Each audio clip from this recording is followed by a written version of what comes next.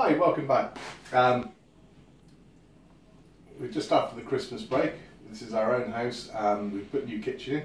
And the last video we showed you was plumbing in the, the pipe work for the SS5 Space Saver heater. Um, the plinth heater here is this one. Nice little bit of kit. Um, and it needs plumbing in. So all I've got to do today is attach these two service valves to these two pipes and hook up the electric and we'll be away. So the plinth has already been cut out, ready to go. So I'm just going to put these in. I put the service valves on this end for one particular reason.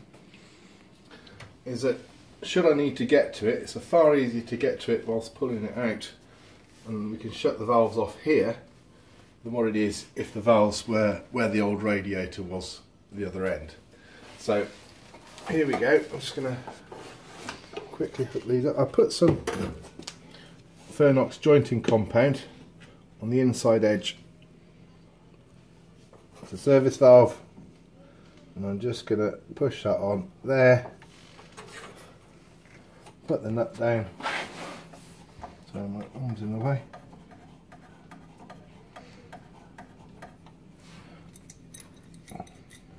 the jointing compound will ensure you get a decent watertight joint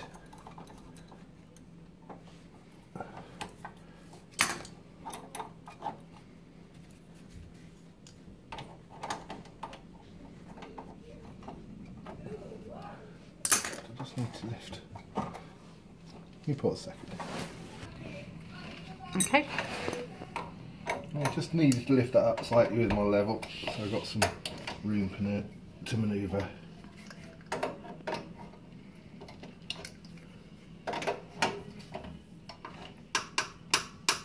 And that should do.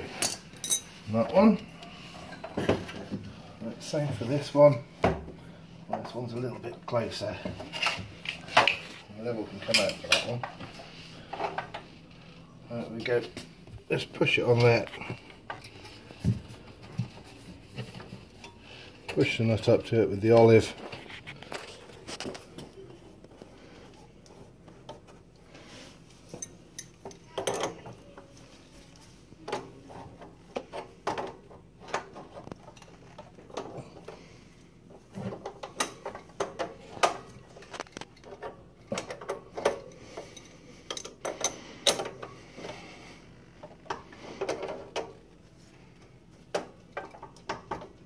Yeah, that's that done. So, let's just see if we've got any leaks. So, turn the service valve on. Turn the service valve on, lovely, nothing there. And then we've got a bleed valve here, which I need a bigger screwdriver for. Right, so just got a bigger screwdriver and it's too big. Um, Pause. Okay. Right, so it's going to bleed it. Hear the air coming out of the system. That's it. Lovely. So just got to wire in the electrics. And that goes to a, a fuse spur which is just on the countertop. Just behind the bread. That's it.